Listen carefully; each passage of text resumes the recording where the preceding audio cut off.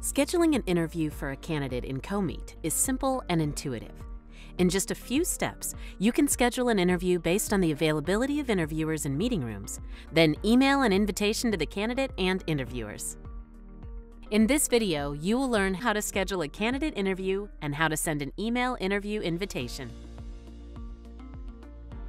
For each interview step in the position's workflow, by default, the recruiting assistant on a team is responsible for interview scheduling. If the box is unchecked or a team doesn't have an assigned recruiting assistant, the interview scheduling task will be assigned to the step participants. In this example, Jennifer advanced to the on-site interview step. The hiring team doesn't have a recruiting assistant, so Amanda will be responsible. As the team member the step is assigned to, she'll be notified in her My Tasks page to schedule the interview. To schedule an interview, click on the candidate and click Schedule.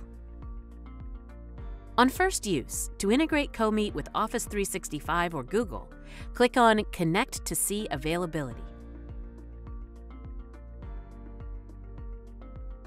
When your calendar is shown, select an interview time and day, or click on your calendar to do so. Next, select a meeting room from the dropdown. If the room has been integrated with your company's calendar, you'll be able to view its availability and reserve it. In this calendar, you can see Amanda Ray's availability and the times when boardroom number 1121 is free. Clicking on Send to Interviewers will send interviewers a calendar invitation. Next, review the email invitation to the candidate, which you can edit, before sending it.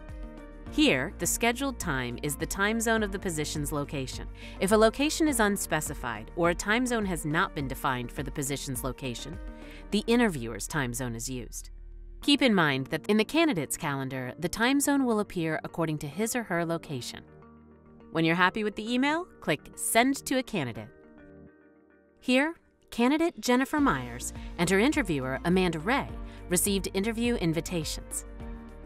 If you need to update the interview time, click Interview Details and change the date and time.